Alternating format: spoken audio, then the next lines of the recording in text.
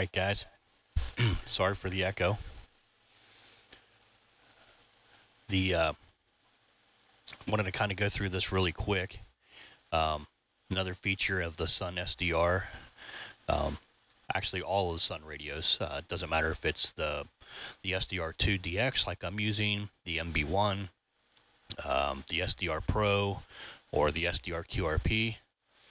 Um, with the TCI interface that they have in their software, it makes it super, super easy to set up a lot of the logging. Well, not a lot of logging programs.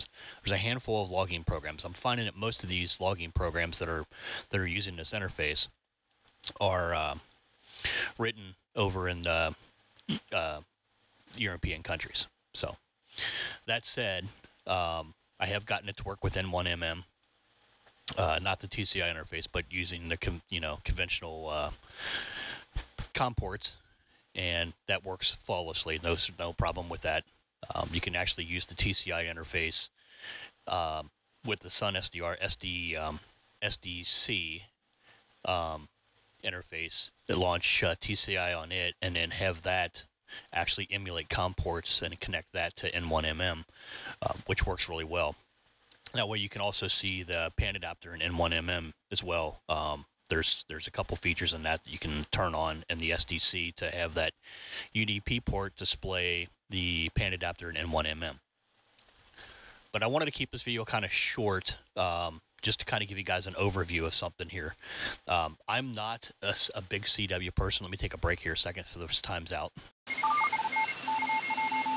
I am still using the 781 mic uh, routed through the software and turn the drive level way down to to get audio into this uh, video mix. So until we get something else, I got to unkey here every once in a while. There's a I've got it set for a five minute timeout. Um, there's a piece of software that's called uh, 5M Contest. It's uh, again it's it's TCI based. Um, it is written overseas. It's written in uh, I'm not sure exactly where it's written at now that I think about it.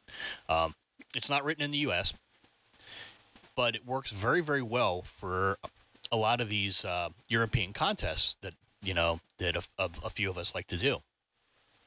Particularly, I found, and I'm playing around with this today, and I want to see how well it works. But from what I'm seeing so far, it seems to work very well. Um, the Worked All Europe CW contest. Now, I'm not a big CW person at all. I, I I love CW, but I'm um, I suck at it. I'll just put it that way. I'm horrible at it. The SDC interface um, has a great, uh, a great, great uh, reader in it, along with, um, uh, you know, being able to, to scroll through a, a, bunch of CW and, and look and see what it is. It puts the uh, the call sign there. That it decodes, figures out the um, you know the characters per second for you, or um, the uh, yeah the characters per second. Not the, it means it's written this way. They use CPS instead of words per minute. So there is a co- correlation there, roughly. Um, uh, five words a minute times five will give you roughly characters per second. Some say it's five and a half or six, but eh, you know somewhere around there. It's close enough. The neat thing about this is once it figures out the the speed that it's decoding at, that the the other station is sending at, um, in five in 5M contest, you can port that back into the software, and on the fly, when you decode something, it'll set that speed rate for the actual send rate back, and then 5M contest has the macro fields in it for you know a lot of the contest, so it makes it really easy, like this, you know, CW worked all Europe contest. Now, I just tried it with two of them, and it worked very, very well. Um, let me take a break here again. Okay, what we're looking at on the on the SDR2 DX pan adapter is uh, a lot of the contest uh, down here in the CW uh, side of things, obviously. And yeah, I know the radio says it's in USB mode. It's in USB mode because that's how I'm porting the mic audio in. So I'm going to switch that over here in a minute. But if you look, there's a whole slew of uh, stations up on the pan adapter display, those spots. So you can click on those. Um, those will go right into 5M contest, or you can use the um, the uh, the CW reader and and and SDC, um, the skimmer, the CW skimmer, and and grab your your uh, station info from there. Click on it, and it'll populate it into the 5M contest field as well. Uh, and then at that point, you basically answer a call, or and you know, uh, enter in their um, uh, contact number, the uh, you know serial number, not, and then you have it. The, the software send your serial number and your call and stuff, and close out. Um, and then you know basically you just go up and hit save, and you're you're done with that one. You can move on to the next one. So I kind of wanted to point this out real quick. I'm going to switch over to the other screen. So hold on a second. I'm going to switch this into CW mode. You're not going to hear me anymore, but just kind of, just to kind of give you an overview of how this works. We'll work a few of them real quick. I am running, uh, I am running the ACOM 1000.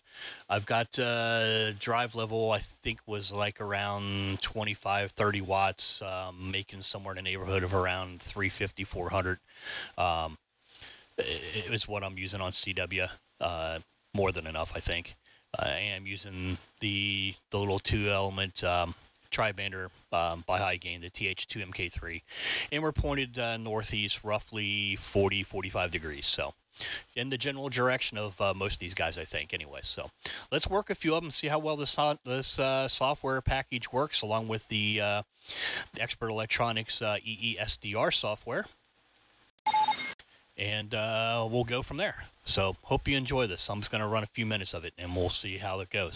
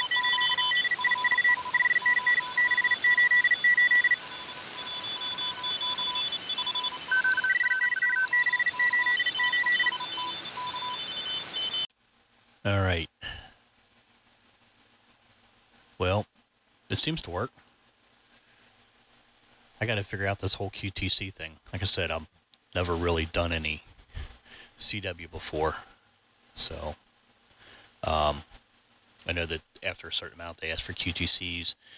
I think it's t- at 10 or something like that. I'm not sure. Um, I got to figure out how to how to send those from the software. Um, I know they're supposed to okay them as you go through. Send each one. They're supposed to give you a Roger or okay. But the software does work, and the skimmer seems to work pretty well. Um, yeah, I'm I'm happy with it. I'll have to play around with it some more and uh, try it out on a few more contests. You know, the biggest thing with the uh, with the 5M contest, unfortunately, is a lot. Like I said, a lot of the contests are geared for the European contest. I didn't see a whole lot of contests in there for um, you know contests here in the states, um, which is a shame. But you know, maybe somebody will add some to it, or maybe somebody will come out with another logging program that works with the TCI. Um, I have messed around with a couple other ones, uh, LogHX, which seems to work pretty well. Um, that one will let you do a lot of freehand stuff in CW.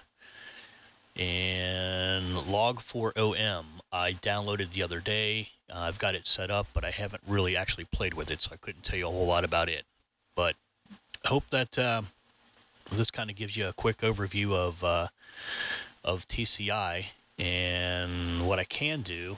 I guess I real quick here I can show you how I got this set up. So let me unkey.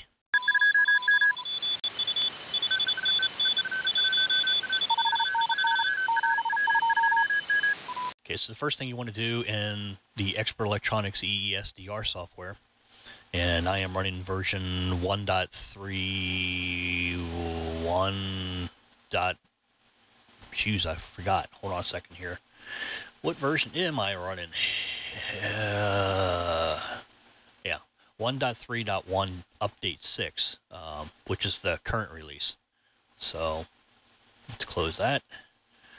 So the first thing you want to do is open up your options tab, go underneath where it says TCI, and in here all you got to do is enable this and give it a com or a uh, port number. Default is the 4001. Um, these are your uh, standard um, settings for the uh, CW macros. Now, on the fly, this will change the out the uh, the speed. So the default is 28. Um, as we saw that you know if you guys run in 32, 33, it will automatically adjust that speed for you. So that's that's really neat. So actually, after you hit this, you hit hit enable, and uh, we're we're good there. I'm not going to make any changes in that. Um, let me switch monitors. This is going to get kind of weird for a second. Hold on. Going to go back to monitor two. Okay. Oh wait.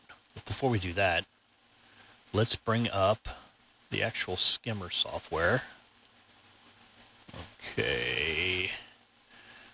Let's see if I can grab this from behind here. Okay. So, hopefully I'm on monitor 2. Am I on monitor 2? I've lost my spots here. Yeah, okay. Sorry, guys. All right. Let me unkey for a second again. So in uh, in the SDC uh, software defined connectors, which is uh, another add-in piece um, that has the TCI protocol in it, you uh, basically enable your TCI. You can, if you're running N1MM, you can do the focus helpers. Um, and here, I've got it turned on. Um, I haven't uh, currently, as this video is going, um, obviously N1MM was not going. I was using 5M contest. Whoops, 5M contest. So this is kind of a neat little uh, little thing here. You've got uh, com splitters you can add, you know, com ports and things like that. Rig syncs um, between rigs.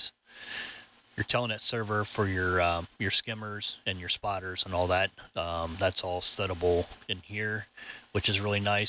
Um, if you're exporting again to N1MM, you can set up your color color mappings to to come up on the screen for that. Um, here's your skimmer setting. Um, you can download all these things, you know, the uh, the update list, the set files, um, your check calls, your um, UDC port or UDP port, broadcast ports. Do, do, do, do. Set your band profiles in here as well. Um, let's see. Let me unkey a second again.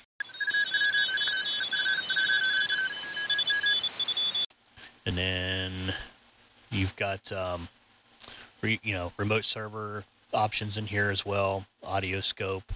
Um, got an SDR or SDR, SWR uh, standing wave ratio plot in here as well. Um, you can set your start and end points and hit start, and it'll go through and plot your graphs out for you. Uh, I don't want to do that right now because I'm on the I'm on the beam at the bottom end of the bottom end of 20 meters, and I have to use the tuner down there. But um, yeah, let's not do that through the CW portion, anyways. Um, and then basically you you can have things auto start in here. Um, there is a help file in English. you can set your fonts and set your styles. I've actually got this with the the grayer uh, background style. There's another one that's got like a black background style. Um, but it's it's a pretty neat little piece of software. It's very handy for uh, for being an interface between the radio and other uh, other logging programs, and also like WSJTX, uh, JTX um, DX, uh, any of the other you know FL Digi, uh, things like that. It's kind of neat. You can use the uh, like I said the the com splitters in here and um, or your TCI, and you can turn on this rigging emulator portion in here, um, which will allow you to set COM ports. Uh, you you actually connect to this piece of software TCI, and then this piece of software will connect to your other logging programs um, for each receiver. Now remember, just like in the original, uh, the other video I showed you, each each receiver has its own uh, set of variables in there for COM ports and and and UDC ports, um, telnet ports, uh, CW ports, CW keying. Um, I mean, basically, it's like having two separate radios, uh, so you can set those individually, which is really nice.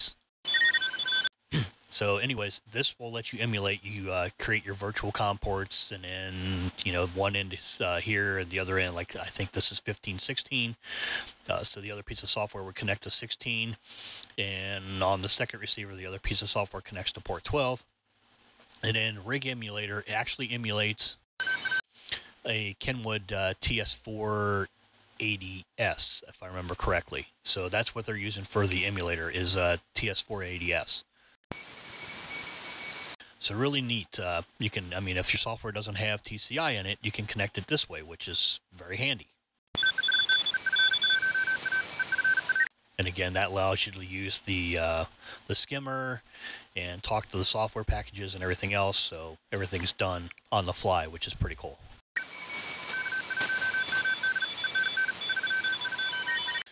All right, so in your simmer, uh, simmer skimmer settings, oops, didn't actually want to stop that. Uh, it's getting back up here. Okay. You um, you can have this an external window, like I had that little pop-out window on it before.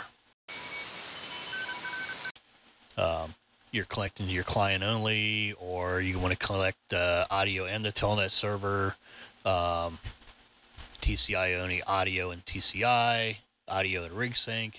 Um, there's all kinds of little connectors in here.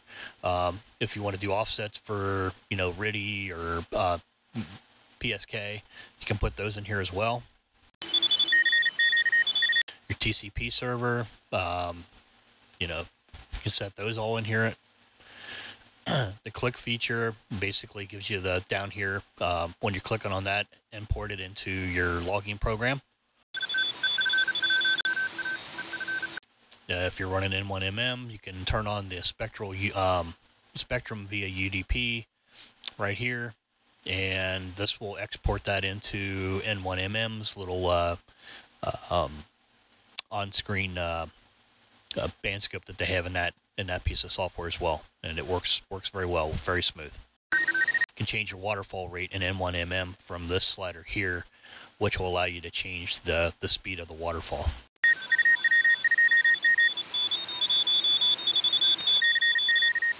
All right, let me close this. Actually, I don't want to close it. Okay, so let me minimize this. So this is this is 5M contest. You can lay, excuse me, you can lay these out however you'd like um, for uh, on the screen. Just come up to your windows and select which windows you want, and then you can drag them and put them into place, resize them, um, whatever you need to do.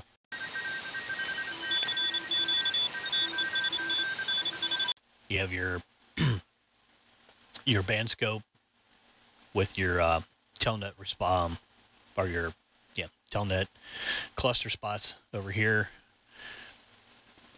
QSO list is down here. We just went through 10 of them. Really nice map. When you uh, click on a call in here, it actually drags us to wherever that call is, so you can get a real good idea of where you're where you're actually communicating with.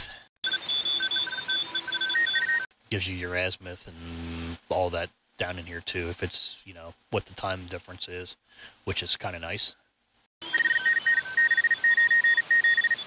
It's your main window for your logging um, S&P search and pounce. Auto on will fill in the uh, speeds and everything for you as well.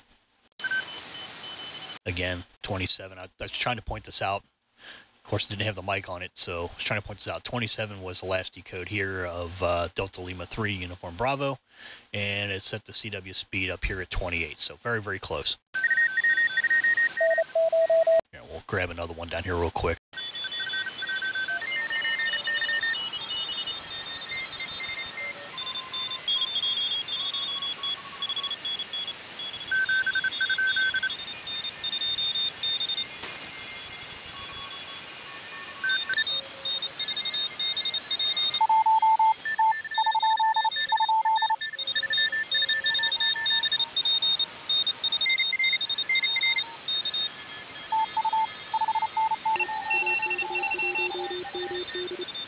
This guy here is at 32, and if you look up here, it set this at 32 as well.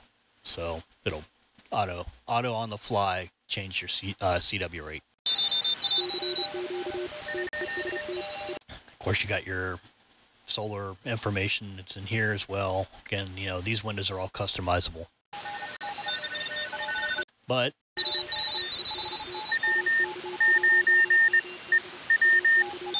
if you go into management go to 5M contest settings, and then under rig, OmniRig, uh, you just tell it you're using Expert Electronics TCI.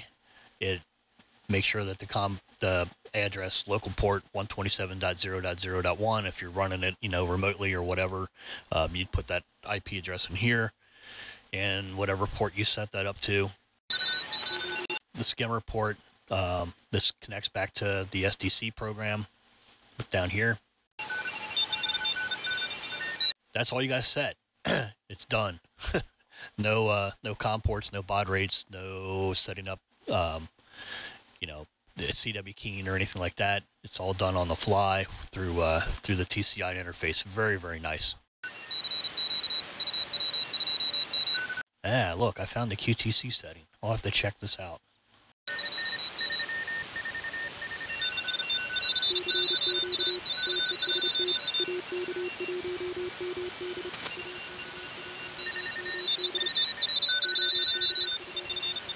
Ah. All right, so we'll have to uh, I'll have to play around with this and figure out how to use it. Nice. So it is in here.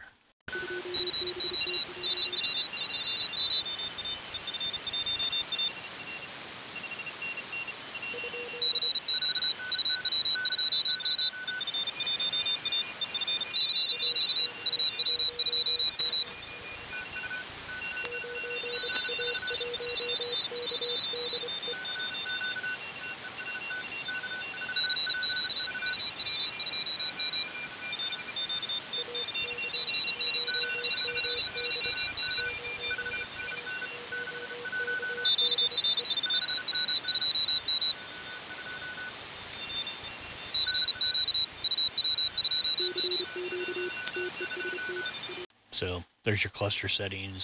You can, you know, if you spot somebody, it'll tell you if you're doing it in a contest. Obviously, the comment will be that it's the con, you know, that contest.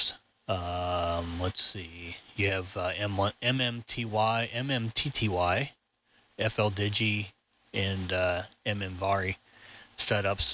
Um, PSK, RTTY, um, GRTTY or GRTTY. I haven't messed with that.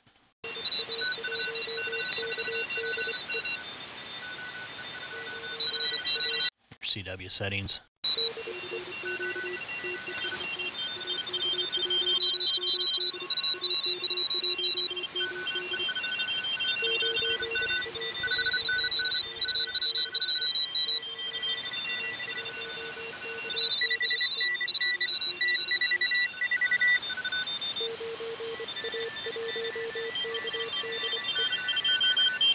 So actually, a really neat piece of uh, piece of software that works well with the uh, the software uh, client, the SDC client with the skimmer in it.